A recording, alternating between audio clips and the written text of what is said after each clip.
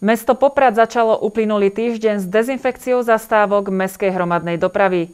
K tomu sa pridružili rovnaké práce na stanovišťach kontajnerov a počas víkendu sa začala veľká dezinfekcia verejných priestranstiev. Pracovníkom správy mestských komunikácií v tom pomáha horúca voda a chlór.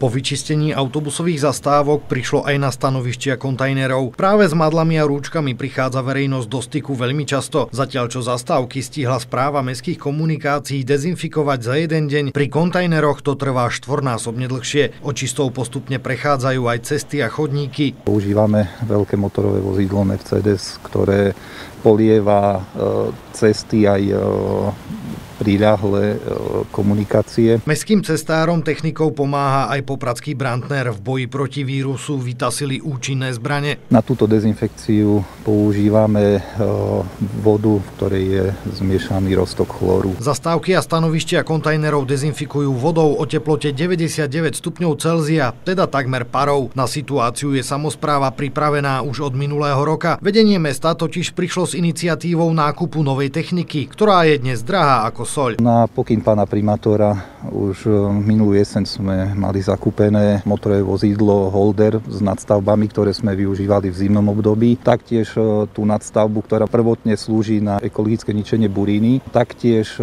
sme zakúpili motorové vozidlo Mercedes s vymeniteľnými nadstavbami, kde v zime bola sypacia nadstavba a dnes je prehodená tam kropiaca nadstavba, s ktorom kropíme cesty. Tým, že sa nám podarilo tieto vozidla zakúpiť, aj tie nadstavby e, v tejto dobe, e, ktorá je, e, vieme operatívne meniť účel používania týchto strojov a nadstavieb takže sa využívajú prioritne na dezinfekcie verejných predstranstiev, zastávok a stanoviš kontajnerov. V sobotu sa začalo aj s čistením verejných priestranstiev. Dezinfekciou už prešlo centrum mesta, juh 3, stráže a v pondelok práce pokračovali na starom juhu, západe a postupne sa dezinfekcie dočká i Veľká, Spiská sobota a Matejovce. Dezinfekcia podľa slov riaditeľa mestských cestárov nie je jednorázovou aktivitou, ale bude sa cyklicky opakovať až do odvolania.